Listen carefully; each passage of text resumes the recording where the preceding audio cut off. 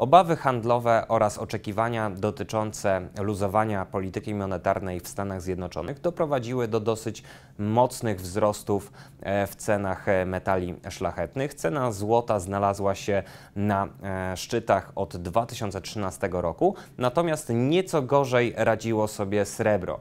Cena srebra wzrosła nieco zdecydowanie mniej, natomiast w tym momencie jego cena wynosi nieco ponad 15 dolarów za jedną uncję. Od dołka z końca maja cena wzrosła na poziomie 9% ale jedynie naruszyła okolice szczytów z marca bieżącego roku. Skąd tak niski wzrost ceny srebra w porównaniu do ceny złota? Jest to powiązane z tym, że srebro jest traktowane jako metal e, przemysłowy. Około 50% całego popytu e, jest generowane e, przez przemysł, dlatego cena nie reagowała tak mocno jak cena złota. Natomiast w momencie, kiedy mamy lepsze oczekiwania dotyczące wzrostu gospodarczego w drugiej połowie roku, to powinno lekko wspierać cenę srebra.